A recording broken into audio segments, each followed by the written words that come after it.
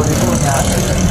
Uh, di karon ako yung provincial president sa Dupias na conduct ni og inspection sa mga personnel.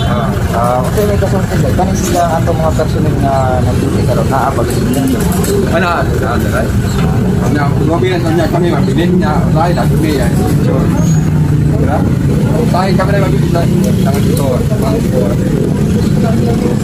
Yung observation, magamit yan sila ang ilang presensya sa in terms sa buwan ganang pagpa pag-maintain sa to ang campsite kalinaw wala na yung mga training sa pangawa Alam mo kayo, Pastor Ray, nga natabang din tayo nga kasi nga mas lang yung kanin ni nga kinala nga nasa ini kay tanang dry masaag nga hindi ka di ka danaw di ka danaw kaya mabuti asa yung kita kuan ana kinala nasa ini kay kay may sa todo nga nalo nalo so wala sa kapita ana kung pangayoan mo o satisfaction rating sir? Na ilang pamagis panarbaho ah na-satisfied ano kung grado 1 to 10 asa man yung grado? Pinakataas ang 10 pinakabot ang 1 sa inyong ang i-rate nila grado.